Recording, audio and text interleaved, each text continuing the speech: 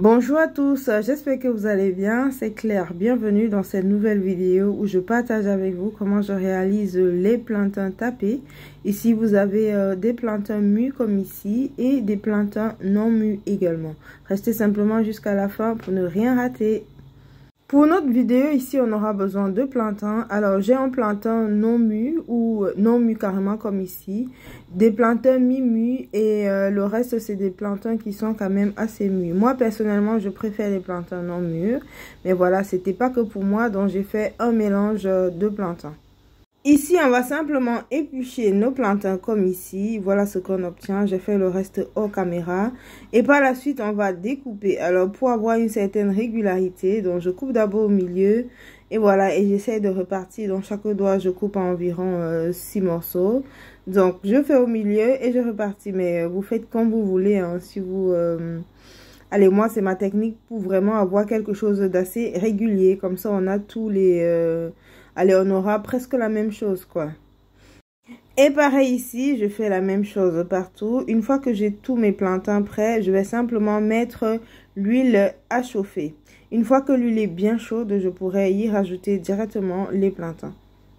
Et comme vous l'avez vu ici, j'ai pas de très gros doigts de plantains, donc je vais laisser cuire euh, mes plantains avant de les retirer et vraiment aplatir pour avoir euh, justement le tapé dont on parle.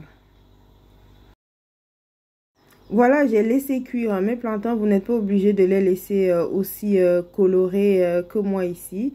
Une fois qu'ils sont cuits, je vais simplement les retirer et j'ai besoin de quelque chose de plat pour les aplatir. Alors, vous pouvez également vous servir de votre rouleau pâtissier pour aplatir ici mais il euh, n'y a pas besoin de salir, euh, voilà.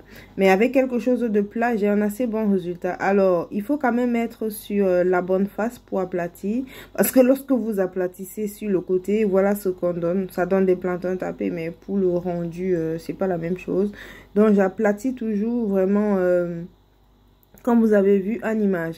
Et par la suite, on va les remettre à cuire, voilà pour vraiment terminer la cuisson vu que tout à l'heure on n'avait pas cuit vraiment à point. Donc on remet simplement dans l'huile pour terminer la cuisson et voilà ce qu'on obtient. Moi comme je vous ai dit en début moi je préfère les non mus. Voilà les non mus que vous voyez là. Et voilà les euh, plantains tapés mûrs. Et vous pouvez accompagner plusieurs plats avec euh, le, poisson brisé, les prunes, vraiment tous, euh, tous les plats que vous utilisez, le plantain frit normal.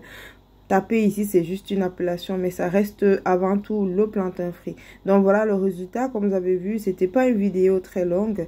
Si vous avez aimé, n'hésitez pas à liker, euh, euh, à laisser un message et à partager. Euh, c'est toujours mieux. Et si vous n'êtes pas encore abonné, je vous invite à le faire pour ne manquer ainsi aucune de nos vidéos.